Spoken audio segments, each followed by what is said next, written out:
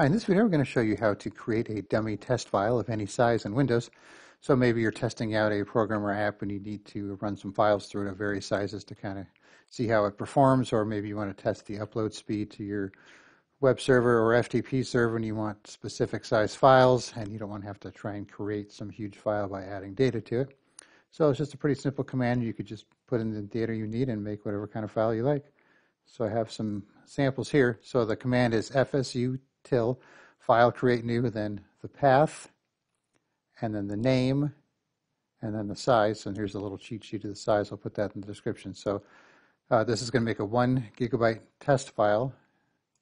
And if you want to make it two gigabytes, you could just, you know, two times that, three times that, whatever, to get the uh, number you need. So we're going to copy this. We're going to open up an administrative command prompt.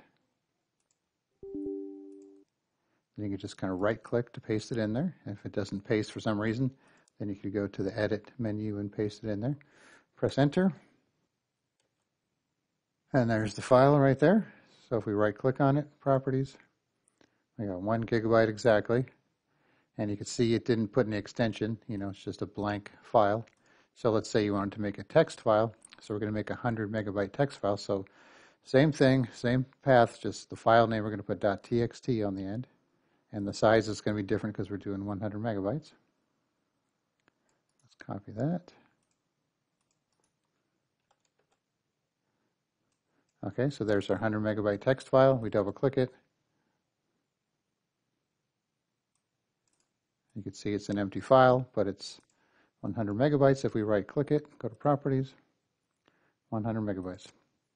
So pretty simple. So like I said, administrative command prompt, uh, put in this path, make sure it's a valid path to where you want it to go, make sure you have room on the drive, obviously, and then put the file name. If you want to put an extension, you could put the extension. Uh, make sure you got the quotes if you have spaces there.